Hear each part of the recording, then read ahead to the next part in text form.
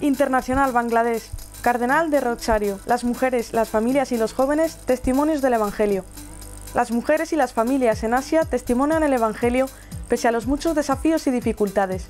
Así lo asegura a Fides el cardenal Patrick de Rosario, arzobispo de Dhaka y presidente de la Oficina para los Laicos y la Familia en la Federación de Conferencias Episcopales de Asia.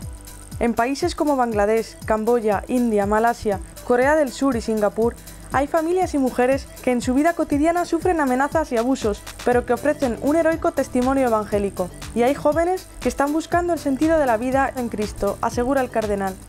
Las pequeñas comunidades cristianas de laicos hacen mucho bien y constituyen una valiosa ayuda a nivel pastoral.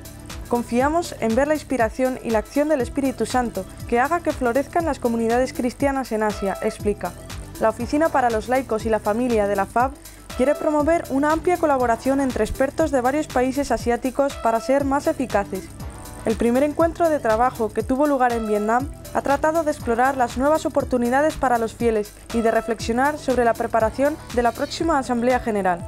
Ha habido una mirada especial hacia el próximo Sínodo de los Jóvenes que tendrá lugar en el Vaticano en otoño de 2018 y que será una ocasión para trazar un puente entre los jóvenes asiáticos y la Iglesia institucional de forma que podamos escuchar y aprender, explica.